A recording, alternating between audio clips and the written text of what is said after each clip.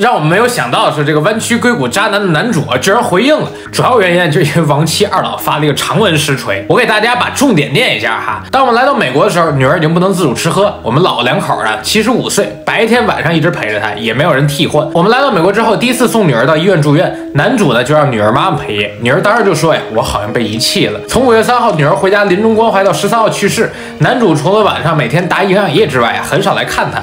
五月二十九号追思会，男主作为女主最亲亲近的人，却始终没有发言，连最后的家庭致谢呢，都是同学代谢。女儿生前曾问过，是否要留钱给我们二老，我们就跟女儿说啊，将来男主一个人要当妈又要当爸不容易，就都留给他们吧。接着关于养老金，男主说是他妈不同意，理由是别人家财都是往下传，我们怎么往上传呢？后来西安墓地，男主也是说他妈反对。其实呢，我们的诉求一直都没变。就是尽快的买墓地，回国安葬女儿，兑现他承诺，养老金和返程机票，就这三笔钱哪一笔不应该？怎么能是他说的无底洞呢？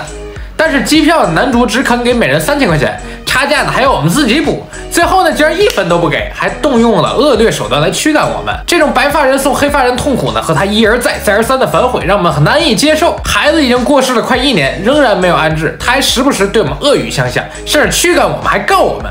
在女儿查出胃癌两个月之后。男主呢，就抛下他的挚爱去佛罗里达散心去了。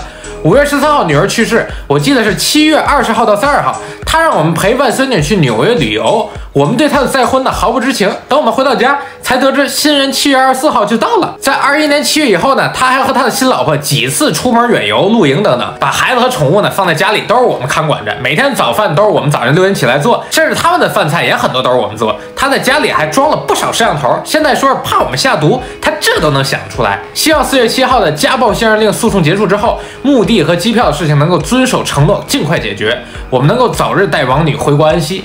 听完啊，可以说是特别扎心哈。当然，我也说了，三金咱尽量做到客观。我们再来听听男主是怎么变，咱怎么澄清的哈。首先呢，他说这个年金啊是男主的提议，没有具体金额，所以无从计较。男主曾经提过养老的方式，就是按年给，直到他们去世。但是这方式呢被这二老拒绝了，于是呢就没有算过总金额。这个亡妻的墓地呢，三月一号已经埋在了加州 Santa Cruz 了，并且跟那新妻子是相识于交友网站，时间是六月二号，认识九天后结婚。新妻子是七月二十六号抵达美国的。